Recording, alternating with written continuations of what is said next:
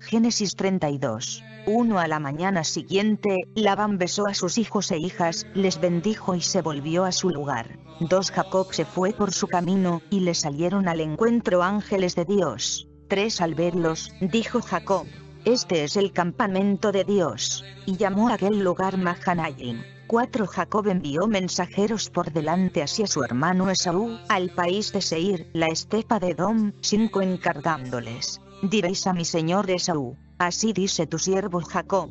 Fui a pasar una temporada con Labán, y me he demorado hasta hoy seis meses con bueyes, asnos, ovejas, siervos y siervas. Y ahora mando avisar a mi señor, para hallar gracia a sus ojos. Siete los mensajeros volvieron a Jacob, diciendo, Hemos ido donde tu hermano Esaú, y él mismo viene a tu encuentro con cuatrocientos hombres. 8 Jacob se asustó mucho y se llenó de angustia. Dividió a sus gentes, las ovejas, vacas y camellos, en dos campamentos, 9 y dijo, si llega Esaú a uno de los campamentos y lo ataca, se salvará el otro. 10 y dijo Jacob, Oh Dios de mi padre Abraham, y Dios de mi padre Isaac, ya ve, que me dijiste, vuelve a tu tierra y a tu patria, que yo seré bueno contigo. 11 que poco merecía yo todas las mercedes y toda la confianza que has dado a tu siervo.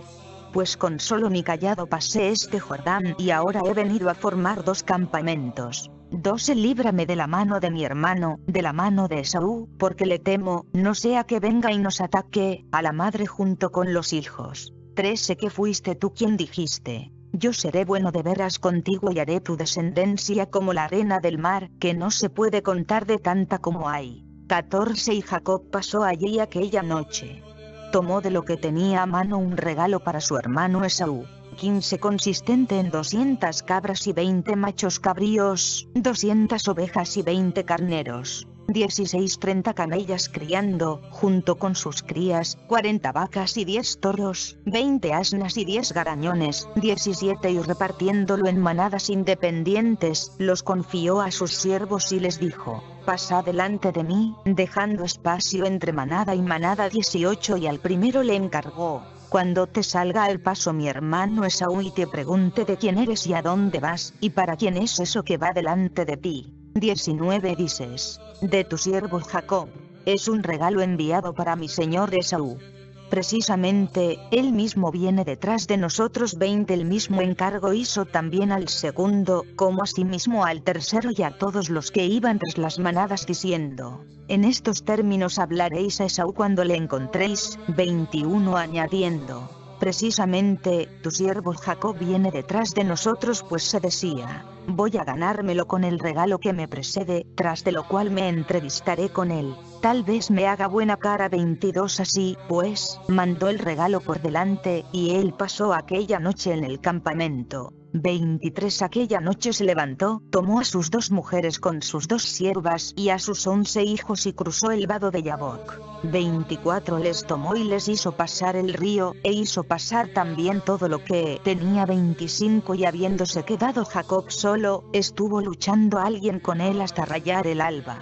26 Pero viendo que no le podía, le tocó en la articulación femoral, y se dislocó el fémur de Jacob mientras luchaba con aquel. 27 Este le dijo, Suéltame, que ha rayado el alba Jacob respondió, No te suelto hasta que no me hayas bendecido 28 dijo el otro, ¿Cuál es tu nombre? Jacob, 29 En adelante no te llamarás Jacob sino Israel, porque has sido fuerte contra Dios y contra los hombres, y le has vencido 30 Jacob le preguntó, Dime por favor tu nombre, ¿para qué preguntas por mi nombre? y le bendijo allí mismo. 31 Jacob llamó a aquel lugar Penuel, pues, se dijo, he visto a Dios cara a cara, y tengo la vida salva 32 El sol salió así que hubo pasado Penuel, pero él cojeaba del muslo. 33 Por eso los israelitas no comen, hasta la fecha, el nervio ciático, que está sobre la articulación del muslo, por haber sido tocado Jacob en la articulación femoral, en el nervio ciático.